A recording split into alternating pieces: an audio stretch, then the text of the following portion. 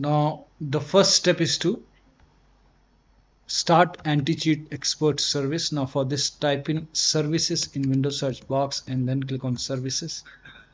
Now over here you can see anti-cheat expert service. Make a double click. Set the startup type to automatic or you can set it to manual and then click on apply and then click on start if highlighted and then click on OK. Now you can launch the game and then check still you're facing the problem the next step is to run the game from the from the game installation folder. Now for this you can go to library and then make click on this three dots on the game title and then go to manage and then click on this folder icon. This will take you to the game installation folder. Now open this game folder and then select the game exe file and then you can just open it so just make a double click on this and then launch the game from the game installation folder. If that does not work make a right click select properties and then go to this tab and then put a check on the box which says run this program as an administrator. Hit apply click on ok. Make a double click launch the game. If that does not work go to properties once again. This time put a check over here and select windows 8 hit apply click on ok. Make a double click and launch the game. Still not working. This time select Windows 7 from the list and then hit apply click on OK and then launch the game. Still not working. Again go to properties and this time. Put a check on the box which says disable full screen optimization and then apply OK and then make a double click launch the game. Now still not working. So when you put a check on all these boxes still you're facing the problem then you can uncheck these boxes and follow the next step. Now the next step is to now for Windows security if you're using Windows security allow the game exe file to your Windows security. Now if you're using any third-party antivirus make sure that you allow the game exe file to your antivirus program. For Windows security users you can go to settings and then go to privacy and security if you have Windows 11 and then click on Windows security. If you have Windows 10 you will have an option update in security then click on Windows security. Now click on virus and threat protection. Now scroll down and then click on manage ransomware protection. Now click on allow an app through control folder access. Click on yes to allow and then click on add an allowed app browser apps. Now go to the game installation folder. So if the game is installed in C drive open C drive then open program files. Now open epic games epic games folder and then open the game folder and then open this game folder. Select the game exe file. Now click on open. Now type in control panel in windows search box and then click on control panel. Go to system and security. Windows defender firewall. Click on allow an app or feature through windows defender firewall. Click on change settings in the top. Click on allow another app and then click on browse and then go to the game installation folder. Select the game exe file and then click on open and once the game is added now click on add. Once the game is added in my case the game is already added. So once the game is added to the firewall now you can launch the game and then check. So in my case yeah the game is already added. And now you can launch the game and then check now the next step is to update Windows to the latest version. Now for this open Windows settings, go to Windows Update or Update and Security and then click on check for update. Once all the updates are installed, now restart your computer. And after the system restart, you can launch the game. Next step is to perform a clean installation of your graphics driver. So if you have NVIDIA card, go to NVIDIA website if you have AMD card go to AMD website. I'm showing for NVIDIA. So go to NVIDIA website and then select the right product type. For me it's GeForce now select the right series now in my case it's 30 series notebook. So make sure that you select your series over here and then select your graphic card. Make sure that you select your graphic card over here and then select the right operating system. So if you have windows 11 select windows 11 if you have windows 10 select windows 10 and this will be game ready driver. Now click on search. Latest one is 552.44 right now. So click on download and then click on download once again and let the download complete. Once the download is complete you can run this exe file. Now once you run the exe file click on ok or yes to allow and then click on agree and continue and then select custom over here. And then click on next and then put a check on the box which says perform a clean installation. Make sure that you put a check on perform a clean installation and then click on next and let the installation complete after the installation restart your computer after the system restart you can launch the game and then check. Now the next step is to run the game on dedicated graphic card. Now for this type in graphics settings in windows search box and then click on graphics settings.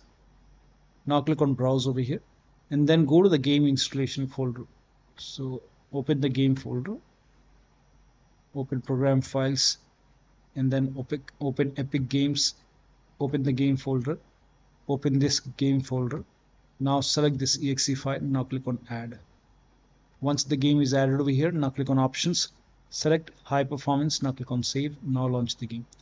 Next step is to verify the game files. Now to verify the game files you can go to the game title. Here you can see three dots.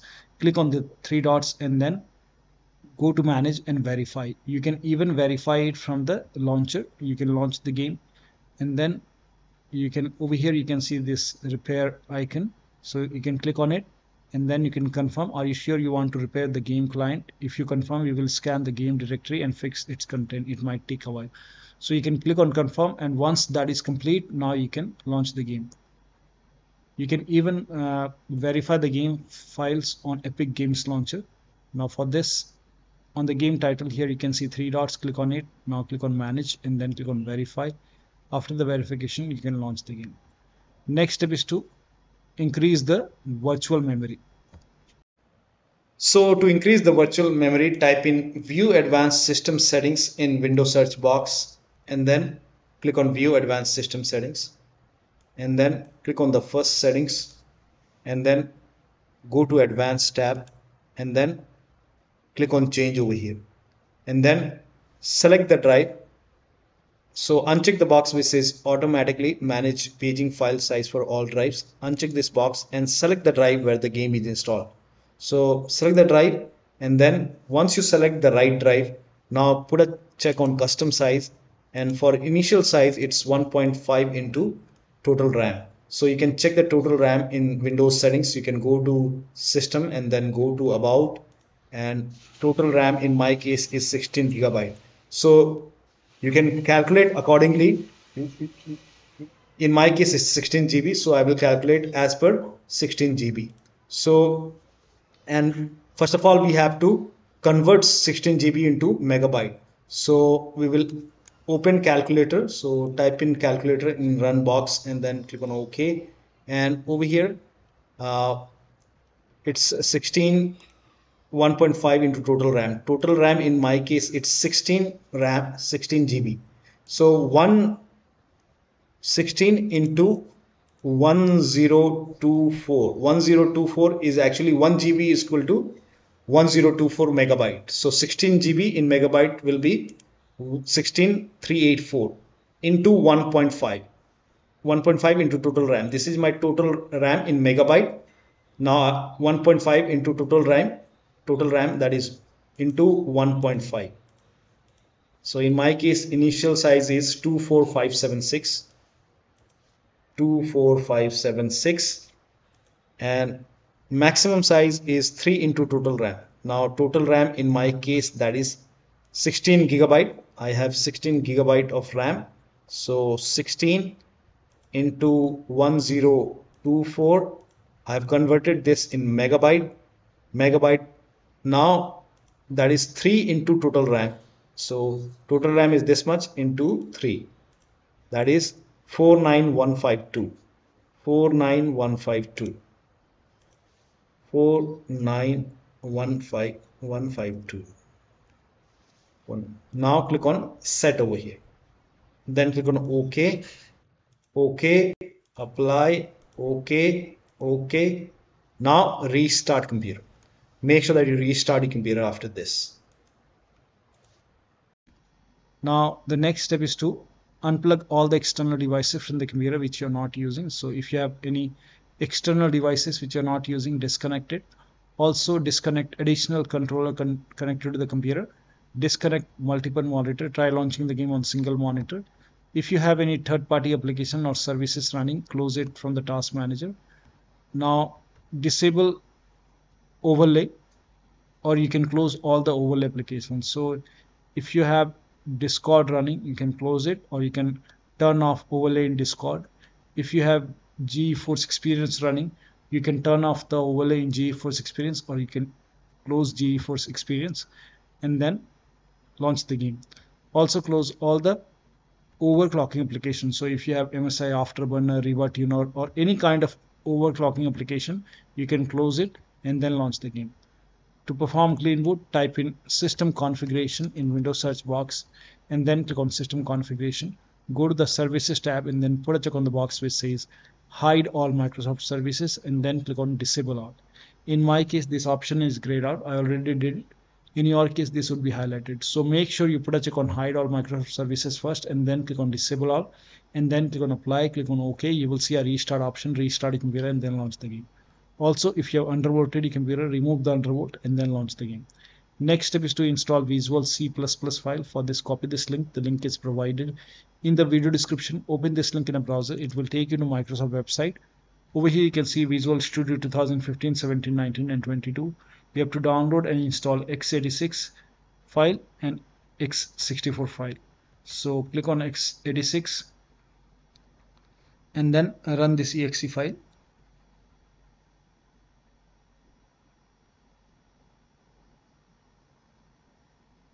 Click on it.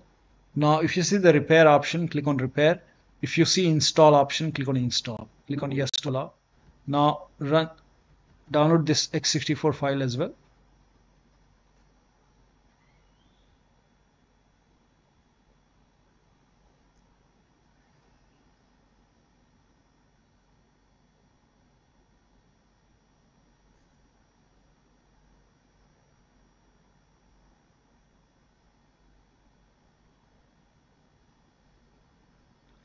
now run this x64 now again if you see the repair option click on repair. If you see the install option click on install.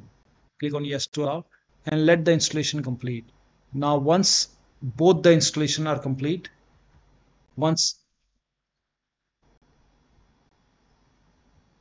once both are complete you will see a restart option. Restart your computer and then launch the game. Now the next step is to update your Windows to the latest version, which we have already done. Now update your BIOS. You can go to your system manufacturer website.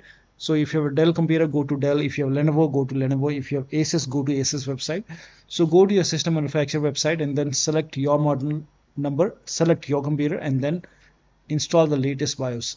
Now in case of laptop, when you update the system BIOS, make sure battery on your computer is more than 10% and the AC adapter, the charger is connected to the computer. During the BIOS update, your system will restart. Do not unplug the power cable when it's updating the system BIOS. After the BIOS update, log into the computer and then you can launch the game.